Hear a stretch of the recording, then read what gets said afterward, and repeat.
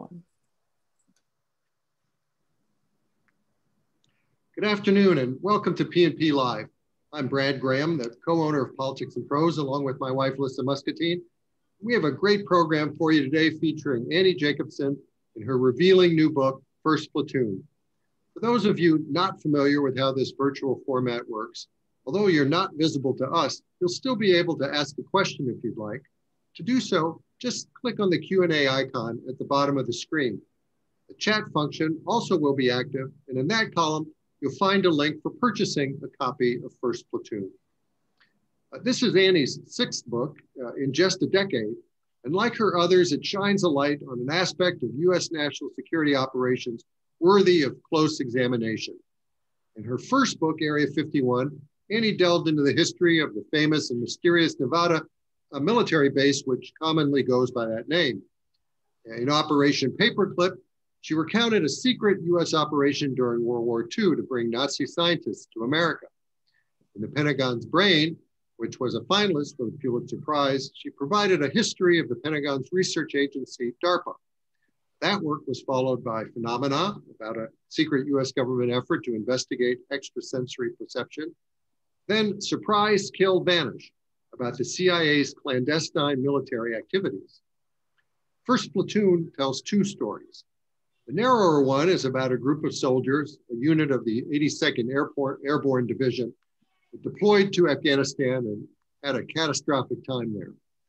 The broader story uh, in the book is about a new warfighting strategy involving a massive Pentagon effort to gather biometric data on uh, virtually all of Afghanistan's mili military age men. Biometric data means electronic fingerprints, iris scans, facial images, and cell swabs of DNA.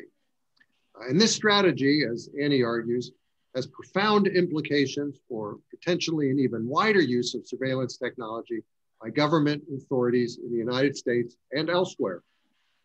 Uh, what happens, Annie asked, when a government can tag, track, and follow all its citizens? That question animates her gripping, uh, uh detailed book uh, and is central to what strategists are now calling identity dominance. Just how far biometric and surveillance technologies developed for Afghanistan will end up being used by US law enforcement remains to be seen. But as a review of First Platoon in today's Washington Post says, Annie is right to sound the alarm about the dangers associated with the modern surveillance state. Annie will be in conversation this afternoon with James LaPorta, an investigative journalist for the Associated Press and a former US Marine infantryman whose military service included multiple deployments to Afghanistan. So, uh, Annie and James, the screen is yours. Thanks for having us. Annie, I enjoyed your book. It, it really took me back to sort of my time as an infantryman and also working uh, for a brief period in the intelligence community. Um, I, I want to start out with asking about how you open the book you start out with a quote from a Polish Renaissance um, uh, poet. And I wanted to take your, and, and the quote is Laws are as fair as a spider's webs. A sparrow will fly through them, but a fly will die. And I wanted to know why that quote and what does that say about what your book is about? Mm. Well, first of all, thank you, Politics and Prose, for having us. And James, thank you for bringing your expertise to the table as an infantryman and also as a, a investigative reporter covering the military with the Associated Press and everyone involved in this book, and, and particularly those who allowed me to interview them. Uh, the, the, that quote, I think, in a tragic way, sums up the very heart and soul of the story of First Platoon. And that is this idea of rule of law. What does it mean? Um, how will this, how does, how does rule of law function in a civil society and how does it function in the war zone? I was surprised in so many ways as I was investigating and reporting and writing this story how many misconceptions there were, how many secret, you know, complex uh, sort of systems working for and against one another, all having to do with rule of law, you know, civil order and essentially asymmetric warfare. And so it begins with that quote. And I think by the time you get to the end of the book, you have to really ask that question yourself. Hmm. Yeah, you know, I was sort of shocked. Uh, what sort of took me back about your book is how the ideas seem very innocent. In the in the initial stages, these individuals want to do something good, especially particularly from the FBI standpoint and from the military standpoint. You know, the FBI, it's a look, we want to stop crimes and we want to catch the murderers. And so you naturally you would go into fingerprints. And that seems very noble. And on the military side, it, it's sort of the same idea, which is there are these improvised explosive devices in a different country, and our men and women are either being killed or maimed by them. And so the idea is what if we could stop that by sort of the same tactics that the FBI uses? The FBI, you know, goes after serial killers and stuff like that and puts them in jail and the, the crimes stop. Why couldn't we do that as a defense department? But the ideas from all these individuals in your book seem very just, you know, what about this? But as you illustrate in your book, I was wondering if you could expand on this idea where there is a clash between these individuals really trying to do something good, and then it meets the in- institutional sort of bureaucracy. Mm-hmm. And then it sort of seems to spiral into something that is n- not even, you know, what was even, even the original idea from the individual who sort of thought about it, if that makes sense. Yeah. So, you know, to just sort of orient the audience, keep in mind the military's interest in biometrics, biometrics, as you say, fingerprints, facial images, iris scans, and ultimately DNA. Biometrics for the military begins kind of the moment after 9 11. And I write about an FBI agent named Paul Shannon, having interviewed him, who's trying to identify fingerprintable body parts from the carnage uh, at the World Trade Center. And he, this idea hits him that wait a minute, we're about to go into Afghanistan, we being the military. There are going to be all these foreign fighters fleeing the battlefield. We, the royal we, need fingerprints on those bad guys. And Paul Shannon is given the director of the FBI's Gulfstream to go do just that with the blessings from the Defense Department. And like you say, this began as such a noble effort. The idea was we need to find out who the bombers are. We need to be uh, able to identify the sort of criminals long term. But things go awry, I think, partially because you have that age old, you know, sort of uh, sort of desire for different organizations to control things. And after a certain point in time, the military no longer wanted help from the FBI. They wanted to have their own program and they wanted to do it their way. And that gets very complex as we learn in Afghanistan because you have the military with its big wheel of bureaucracy trying to go after individual bombers. And in essence, it sends out young soldiers like those in first platoon to act like cops on a beat, gathering biometrics. And when I began interviewing soldiers from first platoon, one of the things that a lot of them said to me was biometrics, Annie, this is this was unimportant because in essence it was. You had one member of the platoon the COIST the company intelligence support team member tasked with capturing the biometrics capturing the electronic fingerprints iris scans facial images and dna of civilians and terror suspect alike. And you had a whole platoon that was kind of down on one knee you know making sure that they weren't um, dealing with you know incoming threats. And it created a lot of confusion and misideas about what this program really was. And I hope to have been able to lay that out in the book so that then you can really begin, begin to see the real story of what these soldiers were doing, what they went through in Afghanistan, and, and what that means for us today. Yeah, it was really interesting to uh, see you talk about rule of law because there, there's this part of the book where you talk about how, you know, uh, the United States military quickly realized in Afghanistan that Afghanistan didn't have any sort of governmental structure in place. They, you know, um, particularly in terms of, you know, how do we punish, you know, uh, people who violate laws, and and so the idea became that we're going to install sort of the Western approach to the rule of law in Afghanistan. But what's interesting about the biometric system, uh, database and system and, and, and, and what you describe as, uh, or what the Pentagon described as uh, identity dominance, mm-hmm. is that they're trying to install a Western rule of law in a way of, you know, establishing, you know, laws and how do we punish people who violate those laws. But the biometrics program in itself seems to run counter to that because as you, I, I, in one part of the book you say that these uh, a program like that was in Afghanistan, where you're bio, uh, where you're enrolling all these Afghans into this biometric system, that would not be allowed in U.S. law. So they're trying to install a Western rule of law in Afghanistan, but while also having this program that is in direct conflict with that. Western law. And I, and I, was wondering if you could talk about that. I mean, I, you know, I think that's the heart and soul of one of this this real confusion about all of this.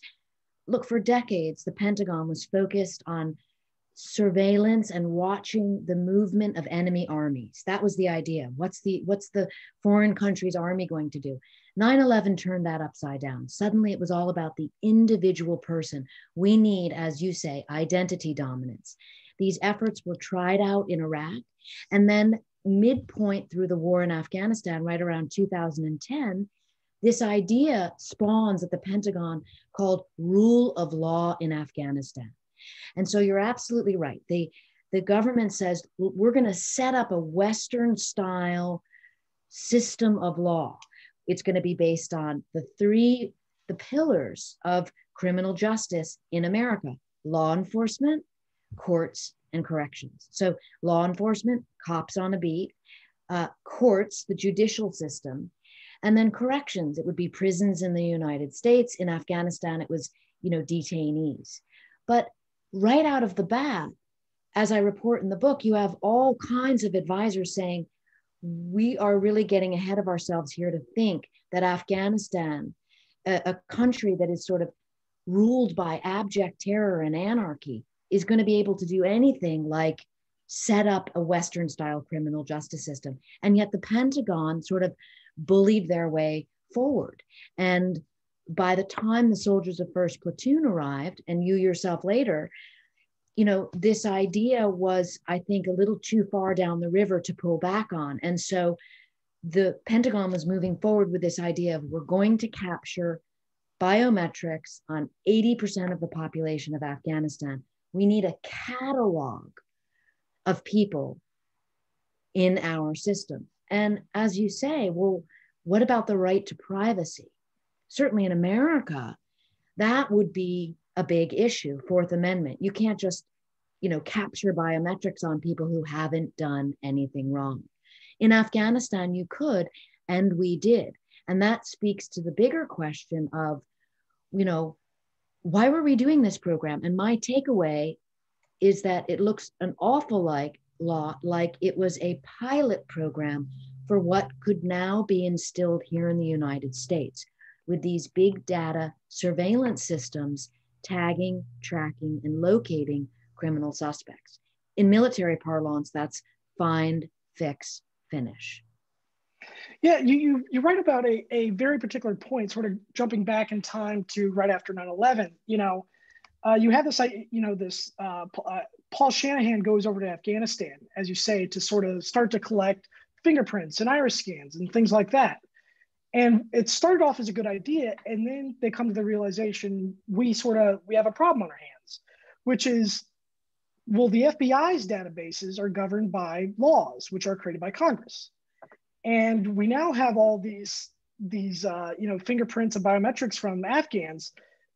How do we put that into a database that is governed by laws created by Congress?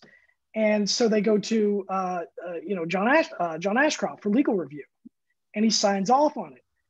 is that the catalyst? Is that the sort of the first thing that you sort of honed in on that was this is where it starts to shift from a good idea to going down a, um, a very um, sort of shoddy road? It's the slippery slope, the sort of boiling frog um, metaphor that's often overused, but a lot of times makes sense because at that point, at that juncture, the Defense Department says, we now need our own database, and they create what's called ABIS. And I write about ABIS at length and through FOIAs and looking at the colossal system that is ABIS, the Automated Biometrics Identification System. And it's sort of stovepipe over on one side, and it is not governed by laws enacted by Congress whatsoever. And so there's a sense that that information system is the Wild West when you look at the FBI's database, as so many of the special agents that I interviewed explained to me, this is, you know, all FBI agents work under the presumption that the information that they gather, the biometrics that they gather, are going to go into the criminal justice system and have to face the courts and the corrections process. Not so with the Defense Department. And so there's a sense of um, that this giant, colossal system is controlled by a very few select people and understood by even fewer. And the, the sort of canary in the coal mine tale of it all comes in this great tragedy that's the sort of third act of First Platoon, where one where the rogue army lieutenant Clint Lorance, you know, becomes involved. And biometrics are warped to get a presidential pardon for him. And no one questions this data. As I report in the book, why? Because the system is understood by such a tiny proportion of people that not even the Secretary of Defense or the Secretary of the Army questioned the legitimacy of the president's pardon. Who is Clint Lorance? Well, you know, it, it, it's such an interesting and sort of tragic part of all this because when I began reporting the stories, and I'm very interested in the stories of these paratroopers in First Platoon who fought so honorably, who were deployed to Afghanistan, having joined the army straight out of high school, in essence. So many of them were 18 and 19 years old. And as they said to me, Annie, I thought I was going there to, you know, kill Taliban. I mean, this idea, the ancient idea of what warfare is, was turned upside down for them when they realized that they arrived in Afghanistan and were, in essence, acting like cops on a beat. Um, deployed to these incredibly dangerous areas, and they had to do these twice daily presence patrols, kind of keeping the peace and cataloging the people. But still, as I show in the book, they fought honorably. And, you know, despite extraordinary, terrible things happening to them as a platoon, as, as happened to so many platoons there. And when their platoon leader is injured by an IED, they get a young officer named Clint Lorance who had, up until that point, spent his entire deployment in an air conditioned talk a tactical operations center. And he was only on the ground with them for three days total. And he went rogue. And I think the, you know, the, a lot of what I write about in, in the events that actually happened when he ordered the platoon to fire on three innocent civilians on a motorcycle, killing two of them. I pull from the more than 1,000 pages of trial transcripts that led to this rogue army officer's conviction on murder, and he went to Leavenworth. Why and how he got pardoned by the president is such a tangled web. Um, and I reported in, in the story, but it, it it's it's kind of the cautionary tale of it all of bad situations, doubling down on bad situations, and winding up completely out of control and rife with disinformation. So you talk about, and just to um, stay on this point, so Clint Lorance orders the killing of uh, what was originally three men who were suspected of being Taliban members, right? Uh, to him, they and, were. I'm going to. by no means yeah. were they suspected of being Taliban members. No, I'm saying to him, he they he was uh, he suspected them to be Taliban members, correct? I think it's. I think you can. We'll let readers decide what they okay. think going through Clint Lorance's mind because it's impossible to know. It's impossible. I see. Know. But he had only been on the ground for, at that point, 48 hours um, when he ordered the platoon to, to shoot the civilians. Right. And, go ahead. And what you found was that that uh, when you run their names into the database, that that his lawyers, you know, he's already been convicted. You know, um, the the you know uh, a military appeals court, you know, found that you know even if they were Taliban, regardless if they were Taliban or if they were, you know, innocent civilians, that didn't matter. The point was, is you engage people who didn't have any weapons on them. And so they run the names through the database and his lawyers run, you know, the lawyers are making the arguments that, well, these are known Taliban members, you know, and what you find, what do you find uh, yeah. specifically? What, what did your, your reporting find? Mm-hmm. So back up for a second here.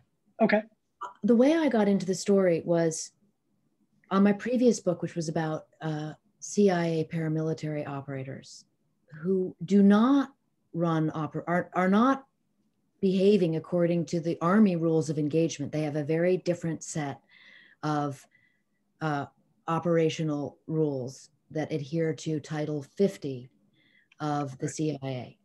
And one of those operators told me the story of Clint Lorance. And interestingly, a family member of his was involved in the headquarters element of the 82nd Airborne and sort of involved in the Clint Lorance story.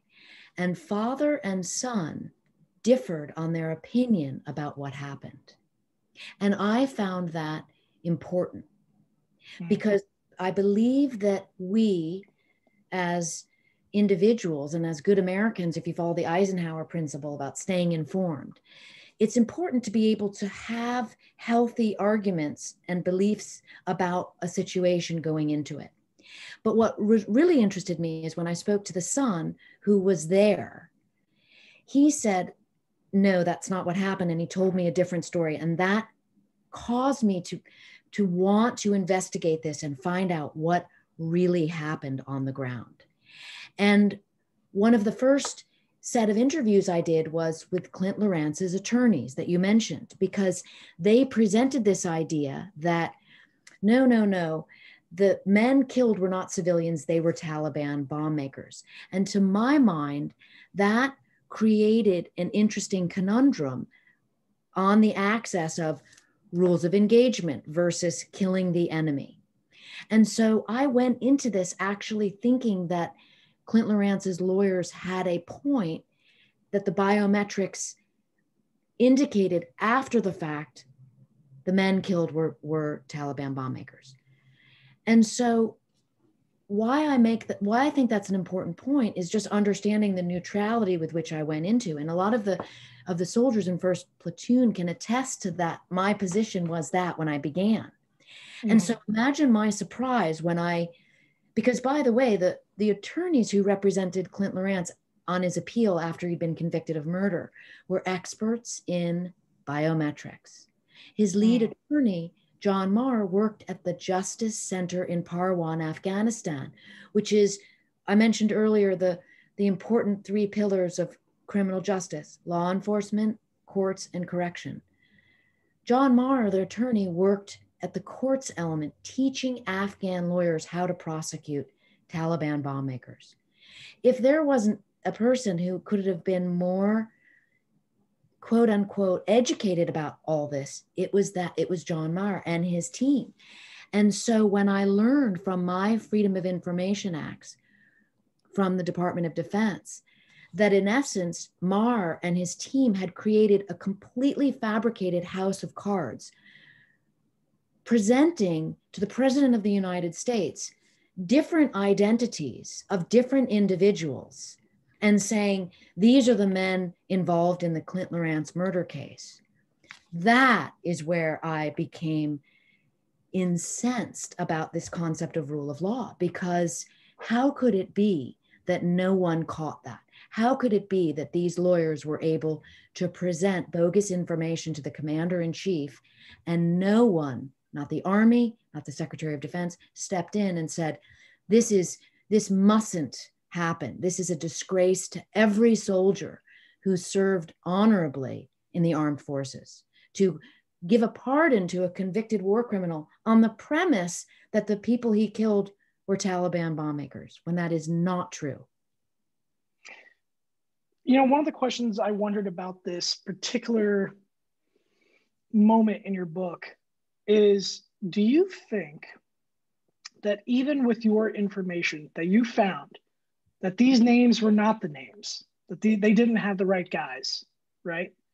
Mm-hmm. even if that information had made it to the white house and made it to the commander in chief do you think president trump would still have pardoned lorance do you mean if i if well that would be a different situation. I think i understand your question. You're saying yeah let's say if if biometrics had been left out of the story right, and right. the president was just told which a lot of americans apparently believe like a, a, veteran should never be in leavenworth well i would disagree with is that your question well th- that's part of it but the other part is even with your information that you found that the names were not the names that mm-hmm. the biometrics were not the correct ones even with that information do you think he was, still would have gotten a pardon? Well, because the, because the, a whole bunch of the and the reason I ask that is a lot of the debate about Lorance was, you know, we can't question guys on the ground. They have to make split second decisions. You know, when they when they uh, decide to use lethal force, if we take that you know split second decision making from them, that's going to be a slippery slope. Mm-hmm. That's sort of the military's argument in terms of the you know rules of engagement. Mm-hmm. And so I wonder, even with the biometrics being wrong, which is what you found, I wonder if it would still have the impact or, you know, would the president still have gone forward? You're asking a great question, and it speaks to that original quote, your original question about how fair are laws. Because I think yeah separate to this and why I believe this story is so interesting and complex and important and tragic is, is, is exactly what you're talking about. Read, read the book and decide for yourself whether you think it's fair or just that a first lieutenant new to the ground would be given 19 years in Leavenworth for making a split second decision based on, you know, the facts as we know them. That's that is an important separate question. Right. To override the rule of law and the the sentencing structure of the army based on bogus information that's dangerous what's particularly dangerous about that is the secretive and secret nature of biometrics as a whole that that our civil society today, I mean, I spend the last part of the book writing about how these systems born of war have come home to the United States, be it the PGIS balloons, the persistent ground surveillance systems, the biometrics themselves, looking at Americans and ultimately down the road, you know, tagging, tracking, and ultimately locating people to prosecute them in the courts. And right. so the big picture here is shouldn't people know more about these systems, their origin stories, the information contained therein, so that we're not just taking our word for it? Um, you know, for the so called expert who says, here are the facts and this is my summation. That's what I find dangerous. There's two other uh, questions I really have for you uh, before we sort of open up to the audience for them to ask questions. One is you write about Robert Bales. Mm.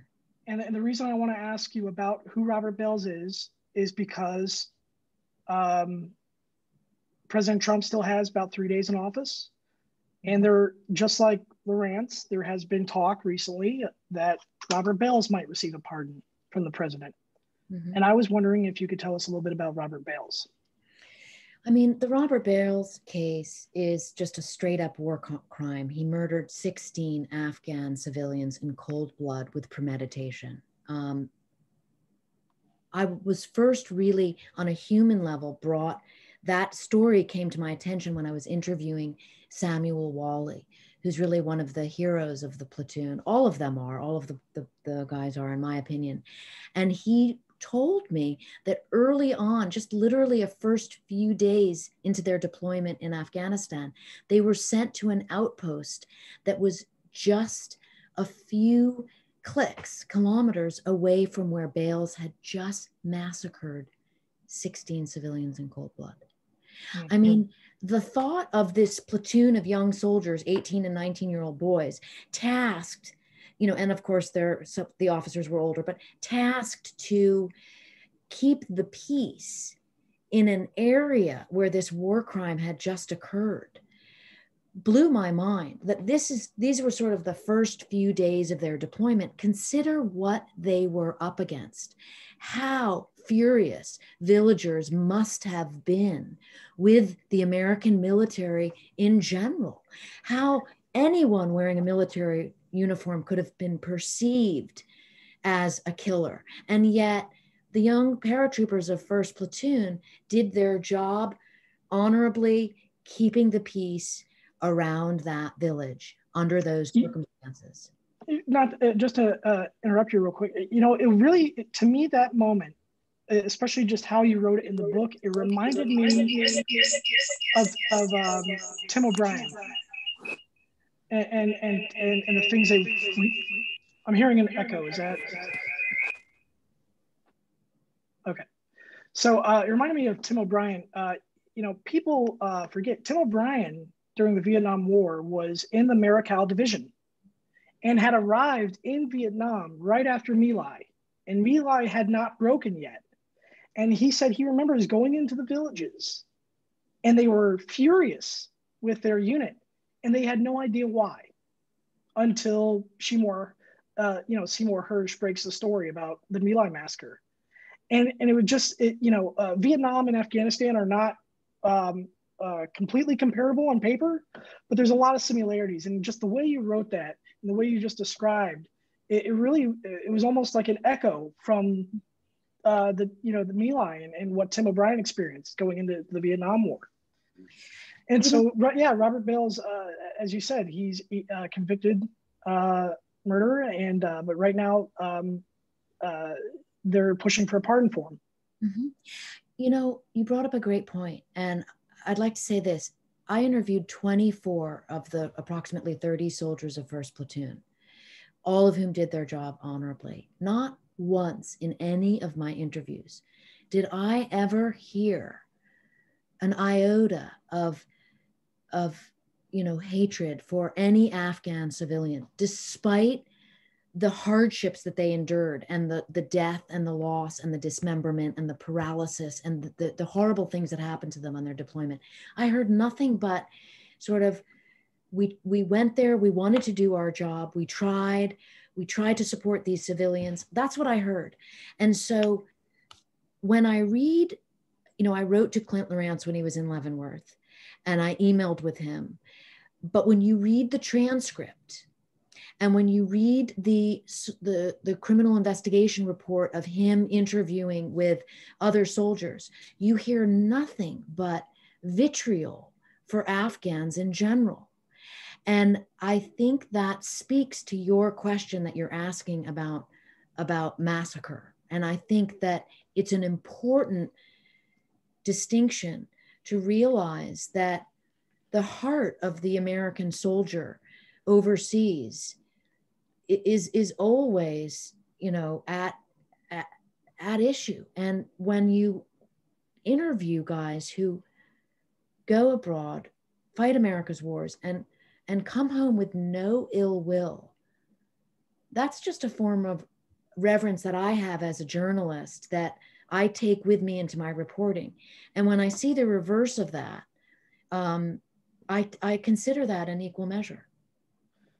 My last question um, I wanted to ask you about is a particular individual you write about, and it's the one I sort of identified. It was this one line that he said that I identified with, and uh, uh, I have felt very much the same in my own experience. Um, I want to ask you about James Twist, and uh,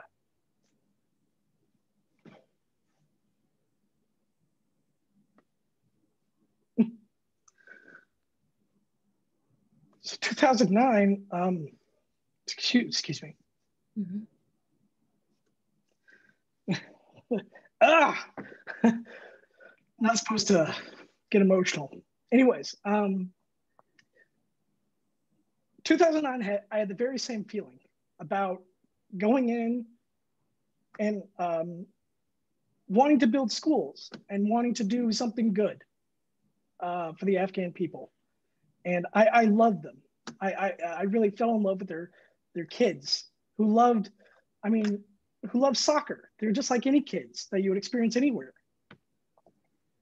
And so I go in in 2009 and you know uh, we do we do provide some security in our area but then i go back in 2013 and i learned that the area that we had gone into in, in southern helmand province had fallen back into the Taliban hands. Mm-hmm. And not only that, it was worse than when we went in. And, you know, at the time that I was there in 2009, you know, we lost 14 guys in a very small period of time. And that says nothing about how many Afghans we lost, Afghan soldiers who fought bravely and wanted to do the, the right thing for their country, and also the civilians who got caught up in the middle of the American force and the Taliban force, you know? And so, and, and what's interesting is shifting from uh, my military service into being a journalist, who I still, I still cover Afghanistan. Mm-hmm. I'm now starting to cover more and more things that I thought was a good thing.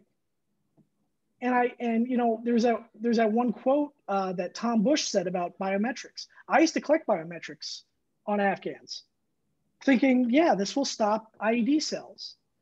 And then Tom Bush says something that never occurred to me. And he, he said, you know, why do we take iris scans of people? You know, we don't, people don't leave iris, their iris scans at a crime scene. Mm-hmm. And I, it never occurred to me. And so it, it, what was interesting is I really identified with James Twist, who, who said, uh, you know, everything good we did, we ended up getting destroyed. Mm-hmm. And as I get further and further away from my, you know, my uh, my experiences in, in Afghanistan, I just learn more and more about try. It gets harder and harder to find the thing that we did good. Mm. And so I wanted to ask you about James Twist, who he is, and, and what and, and what your take is on him, before we open it up to questions.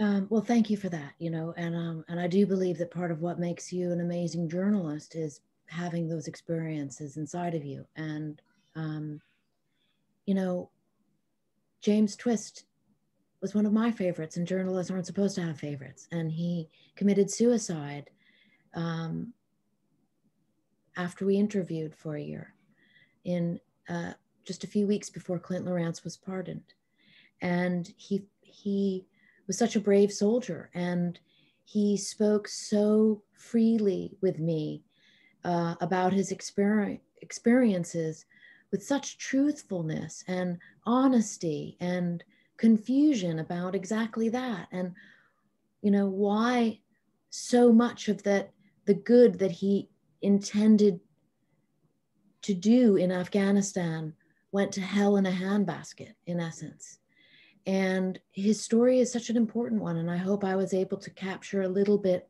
of it in, in First Platoon. And his his loss is felt by his, by by all of his platoon mates, and they've had so much loss. Um, but I think that some things, as a journalist, you're never really able to explain. The best you can do is try and report the story as it was told to you.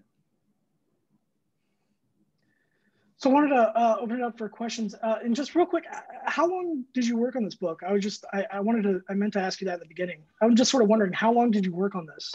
Mm-hmm. Is, started, is this the culmination of how, how much work? I started reporting on it in 2018. Wow.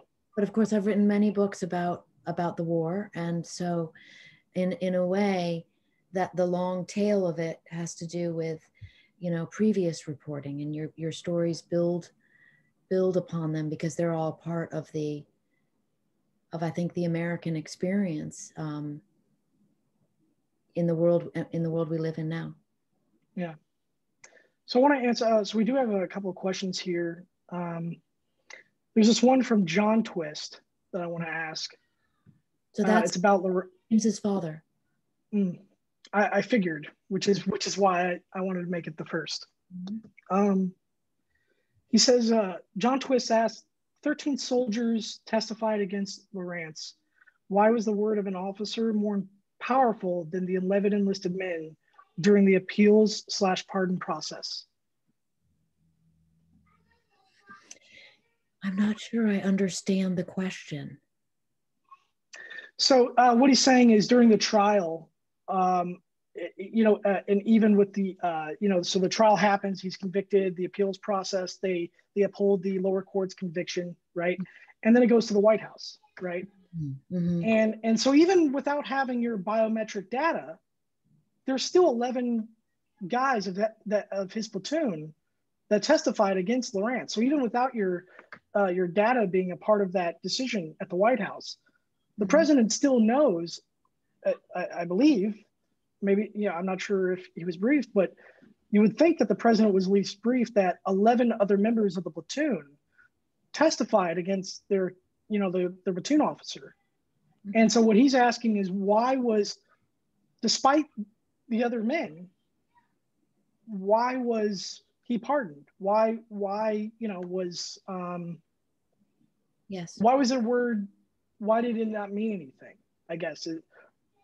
Yes, I think it's a very significant and almost rhetorical question. You know, the answer is almost there in the question, which is, and why would the commander in chief um, take this action, which I think so many military veterans feel, you know, disgrace it's a disgrace and a dishonor to those who served honorably to make this sweeping judgment and a pardon not listening to what what the soldiers and the courts decided and i think that will forever be a tragedy um, there's this question here from uh, an anonymous uh, attendee uh, asks how do you, uh, what do you feel is the long-term implication of transforming the United States Armed Forces into uh, uh, quote unquote cops on a beat? How does it, how does that contradict the purpose of NATO? Mm-hmm. And how does that contradict the core purpose of US ground troops? I think it's a very dangerous idea and I think it forebodes some real problems with rule of law and and and it it suggests you know the authoritarian nature of these databases and these biometric databases I, I, fundamentally believe that soldiers you know who sign up to uh, be in the armed forces are under the impression that they are going to go to war not going to uh, be a cop on a beat and i don't even think that the training is even equal um, you know, I had a soldier who was collecting DNA in the war zone explain to me what it was like to be a COIST and trying to get a blood sample off of a dead soldier while they're taking fire. Now, that that that doesn't sound like the job of a of an infantryman, and yet it is. And furthermore, that COIST officer then has to take that DNA sample, which is so critical, you know, its integrity is so important and has to try to bag and tag it while taking fire, then get back to an outpost, a lot of times that doesn't even have electricity, um, and prepare that sample to be sent to a laboratory back in the United States. I mean, that's a, the job of a forensic scientist or a, or a, an FBI, you know, special agent, not a 19 year old soldier. And I think right. to give that responsibility to them, the, the person's question is brilliant in that regard. I mean, that's a bad idea, and yet it's happening. Yeah, I do recall there is a there is a story that I know of. Um, there's a couple stories actually where the the service members were not that well trained, but they had to collect biometrics and they had to do the BDA, and they weren't going to carry, you know, the body of an Afghan back to base mm-hmm. to just to try to find out if they were Taliban. So what they ended up doing was they would cut off a a, a limb, they would cut off a finger, they would mm-hmm. cut off a, a hand, and bring a body part of the person back to enroll them or to test for DNA because they didn't they didn't have the resources to bring the whole body back. So they would literally mm-hmm. cut someone's arm off and bring it back to base to enroll. You know, uh, and that was just because you know lack of training, yeah, and, and things of that nature. Um, I, uh, I, agree with you entirely. And I've heard stories like that. It's a really bad idea on top of a bad idea. Um, right. A soldier carrying a, a, dead fighter's finger in his pocket to get the fingerprint later. I mean, my God, the problems with that in terms of uh, laws of war. But those were go arounds that people, you know, did to try to do the mission, so to speak. Very dangerous. And again, for people listening, BDA means battle damage assessment. And I had many soldiers of First Platoon. One of my interviews with Daniel Williams in the book, he talks about exactly that, that they're they're required to stay in a villager's house under extraordinarily dangerous circumstances when normally they would be going back to the outpost, mission accomplished. Instead, they have to get the BDA. And so they're waiting and waiting and waiting. And some of the other soldiers said, you know, BDA, you guys want fingerprints. These soldiers are missing body parts and, you know, they're charred from a from from ordnance. And yet that's what the Defense Department wanted. Get us the fingerprints, get us the iris scans. For what?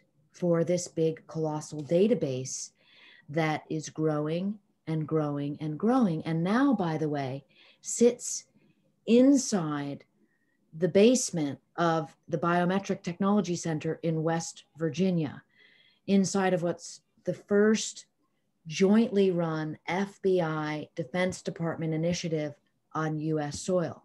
And that's the canary in the coal mine part of this tale, which is anyone who says, oh, Annie, those biometrics aren't really, those systems aren't really growing, might want to take a look at the fact that the Biometrics Technology Center is getting bigger and bigger and bigger, and its databases are getting more and more powerful. Hmm. Uh, Daniel asks, do you see the biometric tracking is what uh, Julian Assange and Edward Snowden warned us about? Also, did the researching change your opinion on their guilt under US law? You know, I don't I don't know enough about um, Snowden or Assange to really to really talk about them. And I think because I have such a strong opinion about pardoning um, war criminals having to do with the Lorance case that I'm probably not the most neutral person to ask about either of those two cases. But I don't know, I didn't see warnings specifically on the biometrics um, in the war diaries that Assange put up. But I do know that Snowden was the first person to unveil um, the what was then classified concept of uh, identity intelligence, I2, which is part of identity dominance, which is this idea that you, to gain, do, to, to understand, a, to dominate a person's identity, to know who they are, to later be able to go after them, means pulling all kinds of information about them into the database. So in the with biometrics it's body measurements. But what snowden was saying with identity intelligence it was also open source information like going to facebook and finding everything out about a person there pulling that into the database. Going to you know automated license plate reader situations where you're pulling uh, records from surveillance cameras on the street. And that's where you really get into the big brother orwellian sort of fear of all of this that that's where a lot of these databases these big data databases are taking us. Yeah just a caveat off that. I do remember um, in regards to snowden stuff like that there was i believe it was snowden who you know there was the um, through what he uh, his disclosures revealed it, it was revealed I, I, believe it was snowden that uh, there was mass collection of cell phones in afghanistan. You know uh, afghans using cell phones and that there was a mass collection of cell phones. Mm-hmm. And I remember interviewing General Michael Hayden, uh, the former CIA and NSA director, about specifically that point, you know, collecting of Afghan cell phones. And he asked the, and he answered the question with a question, which was, you know, how far does the Fourth Amendment extend outside the borders of the United States? Does the Fourth Amendment also protect Afghans in Afghanistan? And his answer was no. Mm-hmm. But that I think also plays into what you're talking about before, where the U.S. government is trying to, you know, insert and establish a Western rule of law based on our, you know, justice system, but at the same time, we're running programs in Afghanistan that are that are in, in direct conflict with, you know, the rule of law that we're trying to instill. So I think that also uh, plays a factor as well. Uh, I got some other questions.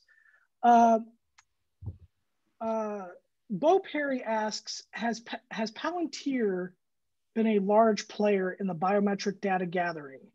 And does their third party nature of this firm allow them to grow the effort more aggressively outside of the government, uh, the government's legal limitations? Aside from mass surveillance, what are other ways can biometric tagging and tracking be weaponized? Mm-hmm.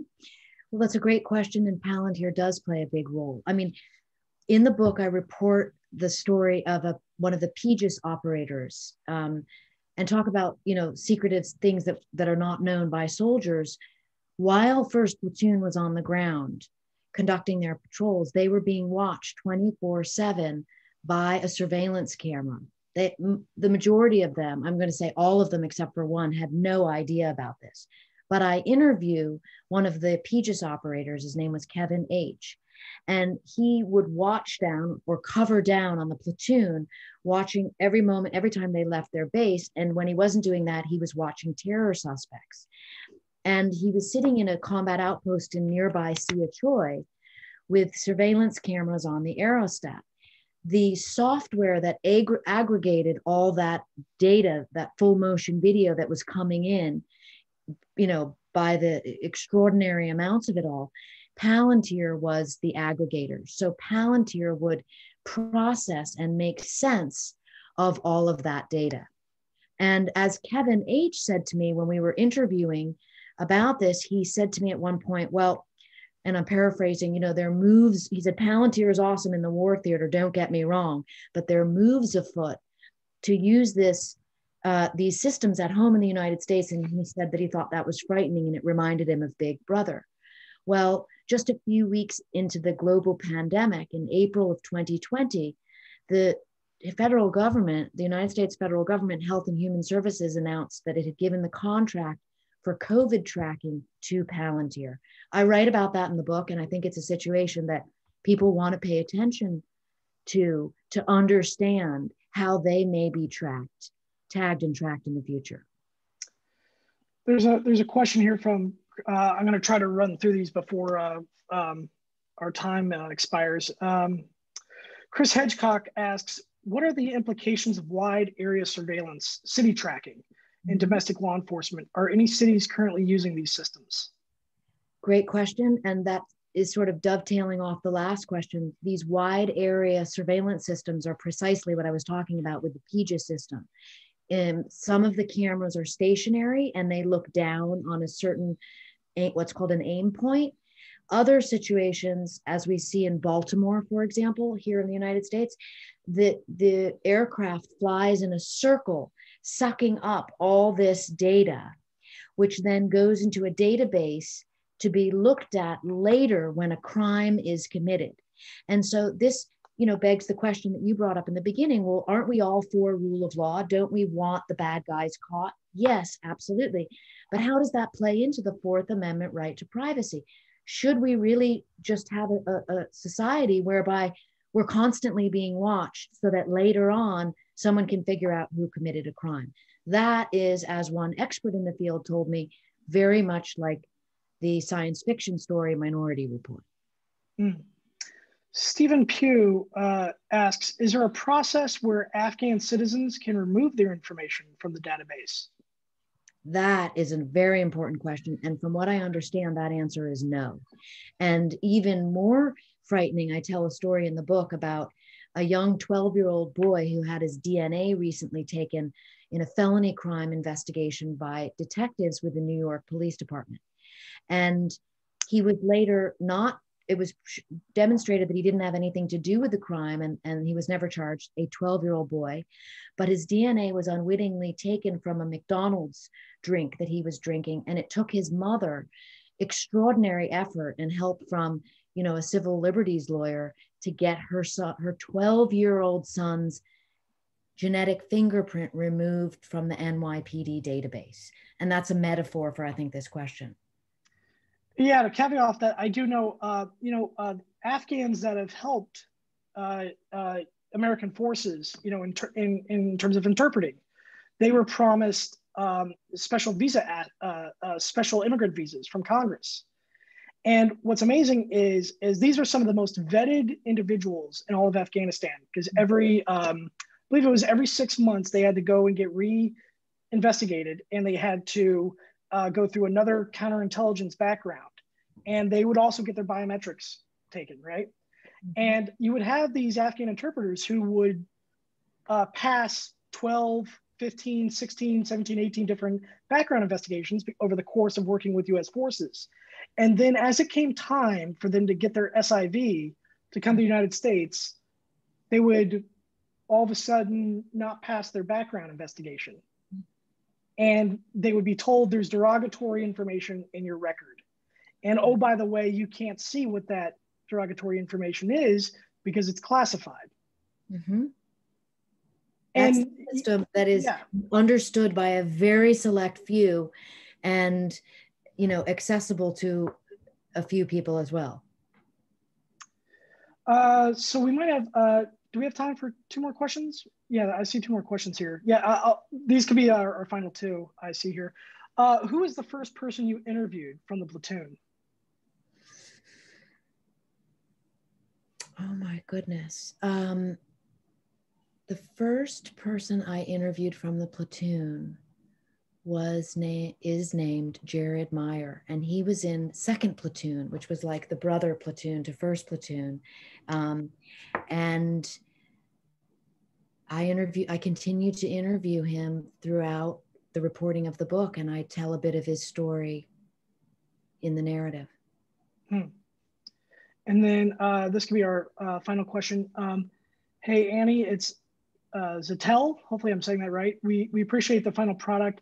It's been sobering response from the guys. Uh, I'm glad the truth of inadequacy of leadership was exposed. Uh, who surprised you the most with their ineptitude? Oh, well, thanks. Um, thanks for that question and, and for everybody's support on this book. And I think that what was most distressing to me was the ineptitude by um, Secretary of Defense Mark Esper.